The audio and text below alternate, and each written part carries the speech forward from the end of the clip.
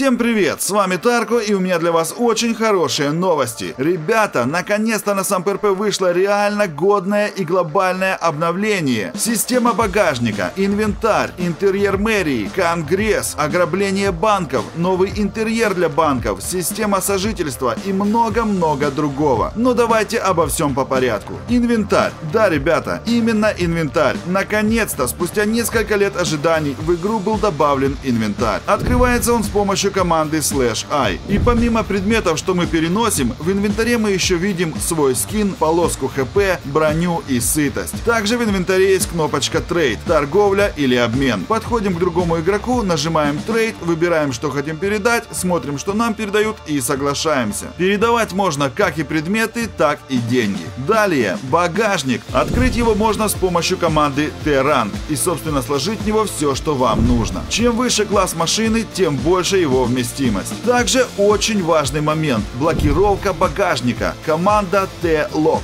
Советую багажник держать постоянно заблокированным, иначе любой мимо проходящий бомж сможет вас ограбить. Также багажник можно взламывать, команда thack, но для этого понадобится набор для взлома, который могут создавать только байкеры. Создается он в баре байкеров с помощью команды Get Hack. На его создание уходит 500 материалов со склада. Также байкеры эти наборы могут продавать и другим игрокам. Чем выше класс машины, тем ниже шанс взлома багажника. Сам процесс взлома проходит как мини-игра. Далее, обыск багажника. Полицейским и ФБРовцам добавлена команда T-Frisk, с помощью которой можно обыскивать багажники. Закрытый багажник обыскивать нельзя. От обычного открытия багажника обыск отличается тем, что открывается не визуальный инвентарь, а просто список предметов и появляется функция «Изъять». Далее, интерьер мэрии и конгресс. Вот так вот теперь выглядит мэрия. Вот тут можно смотреть цены на заправках, в барах, магазинах и клубах. Рядышком в одном из кабинетов есть сердечко для новичков. На втором этаже есть комната охраны, переодевалка, оружейка. На третьем трудоустройство, заявки на смену ника, зал для совещаний. Также есть вот такой вот солидный кабинет с черным экраном на стене, на котором в реальном времени отображается онлайн в госфракциях. Возможно, тут будут собираться министры или лидеры разных фракций. Также на третьем этаже находится Конгресс. Я так понимаю, в этом зале мэр будет выносить на голосование очень важные для штата вопросы, а конгрессмены будут спорить и голосовать. Мне кажется, это будет очень интересно и сделают фракцию мэрия более привлекательной для игроков. Хочется уже поскорее увидеть эту систему в действии. Выборы в Конгресс, обсуждение законов, голосование. Очень интересно. Думаю, это будет круто.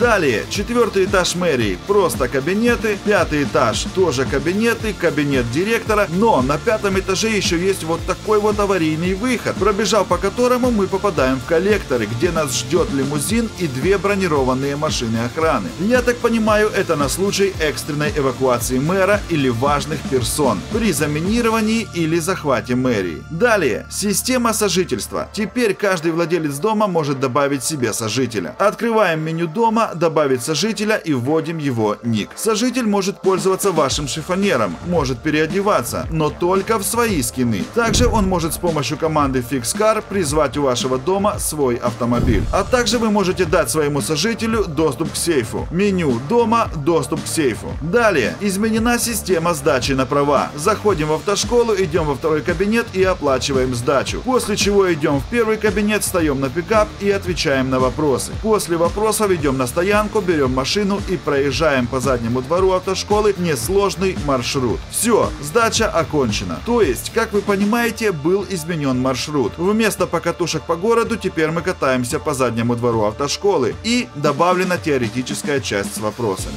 Далее, ограбление банка, новый интерьер и новые банки. Как вы помните, раньше было всего три банка, теперь же их 10, по два в каждом городе и 4 в деревнях. Более подробное их местонахождение можно посмотреть в GPS. Слэш GPS важное и в конец списка. У всех банков одинаковый новый интерьер. Выглядит он вот так вот. И теперь самое интересное. Мафиям добавлена возможность грабить эти банки. Ограбление генерируется случайным образом. С 3 часов дня до 9 вечера по серверу. Один раз в день. После стрелы мафии активируется сбор участников на базах организаций. Чтобы присоединиться к ограблению, нужно встать на пикап возле NPC у особняка своей организации. Игроки 8 плюс ранга могут добавляться самостоятельно. Если Если ранг игрока ниже, я так понимаю, их нужно добавлять вручную более высоким рангом. За успешное ограбление игроки получают вирты, личный рейтинг и рейтинг для мафии. Сам процесс ограбления выглядит очень интересно. В чате проскакивает сообщение от NPC. Он приглашает вас на важное дело. Подходим к нему и встаем на пикап. Ждем 10 минут. В это время к ограблению подключаются и другие участники. После чего запускается таймер 30 минут на само ограбление. Сразу же отправляемся в СФА и воруем бомбу. Это может сделать и кто-то один. После чего всем участникам ограбления на черном рынке нужно купить по сумке. И уже после этого можно отправляться в банк. Кстати, если в группе мало участников, то вам выпадет мелкий банк. Если много, то крупный городской. Чем круче банк, тем больше денег. Думаю, это понятно. Когда вся группа доберется к банку, тот, кто поднимал бомбу в СФА, должен заложить ее у хранилища. Пройти мини-игру. После чего запускается таймер до взрыва. Кто не